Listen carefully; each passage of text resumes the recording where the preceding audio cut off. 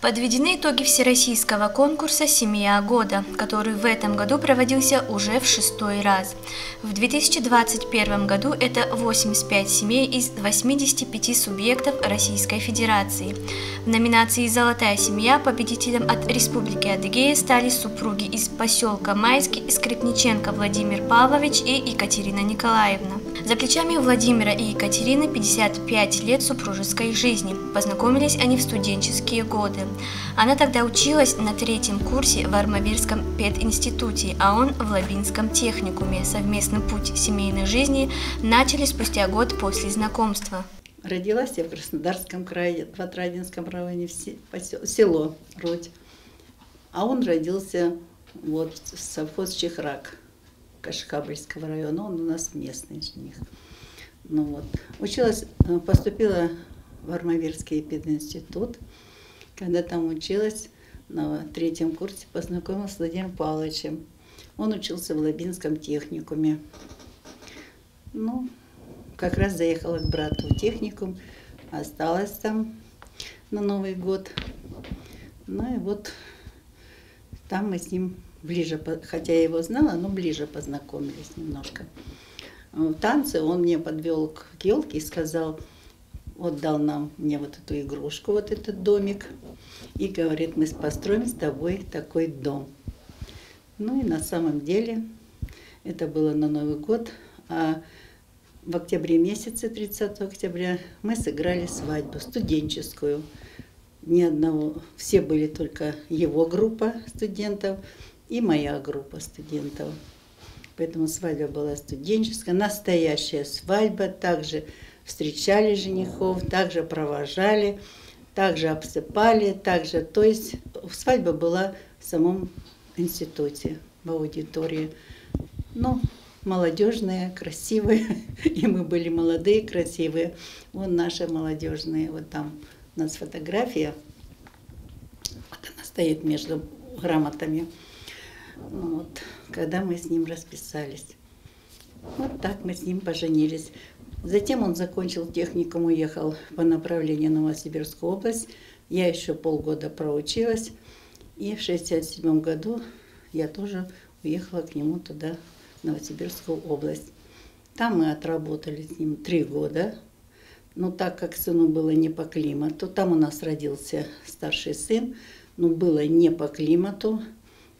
Родители, мать его приехала, забрала сына. Потом уже три года все-таки мы отработали и приехали сюда, на родину, Кашихабльский район. Он здесь устроился вначале в совхоз завод «Элит» инженером, а я в школу преподавать математику. Там, хотя я была молодым специалистом, но меня сразу поставили завучем школы. Ну вот, на Сибирском там. Была я даже там в этом Новосибирском академгородке на курсы ездила, видела, уже познакомилась. Ну, а здесь вначале работала в вечерней школе, потом в дневной школе, потом в каком-то промежутке работала методистом РНО и в школе также продолжала работать. Открыла класс здесь по компьютерам. Тогда у нас совхоз был миллионер, выделил нам деньги. Первый класс компьютерный, который был у нас в Кашихабльском районе, это в нашем поселке.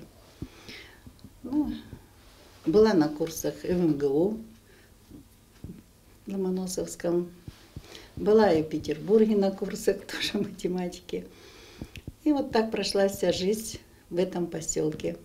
Фундамент гармоничной семьи один – это любовь и уважение между мамой и папой и между родителями и детьми. Тогда все трудности можно пережить. Супруги воспитали троих детей, сейчас у них шесть внуков.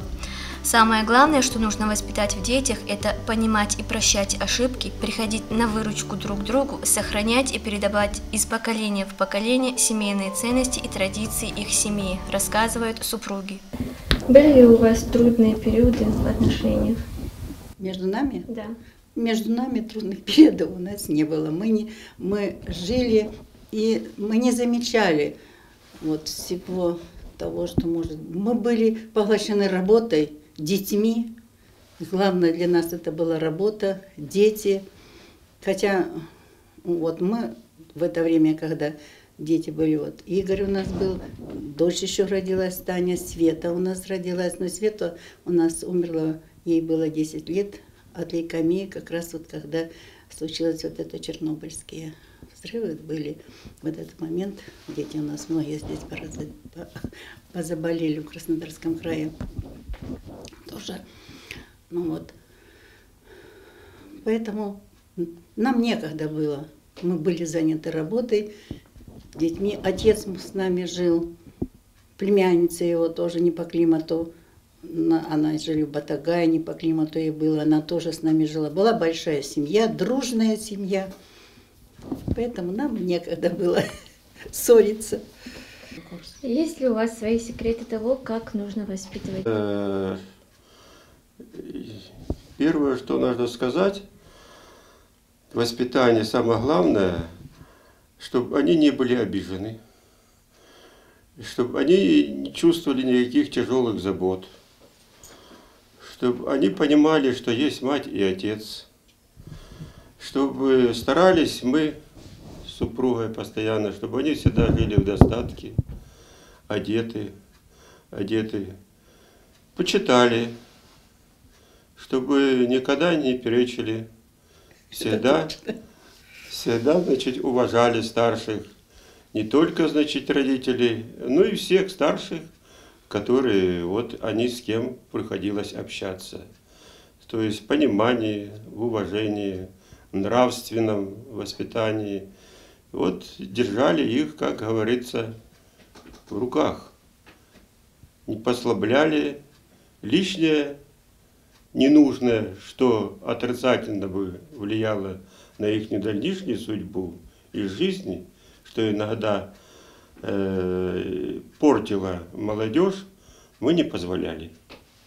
Что является залогом крепкой семьи? Ну, крепкая семья – это есть э, доверие к друг другу. Самое главное – это в семье.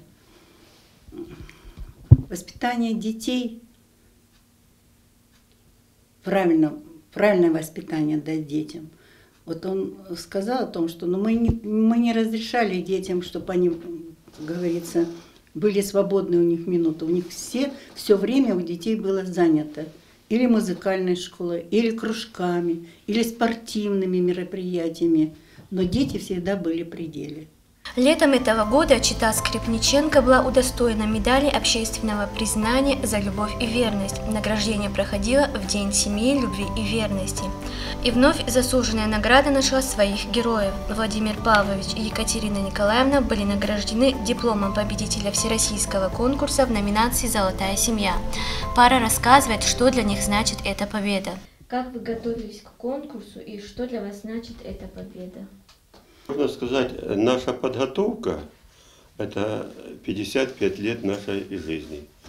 Вот это и есть, можно назвать, подготовка к конкурсу. Не было бы всего того положительного, которое на протяжении всех 50 лет у нас э, сложилось, э, наверное, бы мы не попали в рассмотрение и местного, и регионального, и всероссийского э, оргкомитета конкурсу, чтобы стать вот золотой семьей России. И в заключении нашей беседы пожелание Скрипниченко молодым семьям. То сегодня вот э, как никогда каждая семья должна все-таки ценить семейные традиции, понимать о том, что семья в жизни это самое главное. И пожелать, чтобы в каждой семье родители чувствовали любовь от детей, чтобы дети их были, чтобы заботились о счастье своих детей, чтобы думали о детях родители. А дети должны любить своих родителей, почитать своих родителей. Вот это я бы хотела, чтобы это было в каждой семье.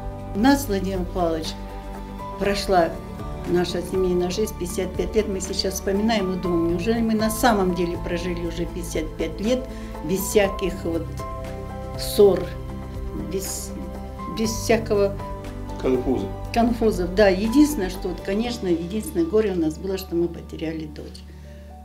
А так для нас жизнь прошла очень хорошо. И родители, я считаю, воспитали нас правильно. Большое спасибо нашим родителям.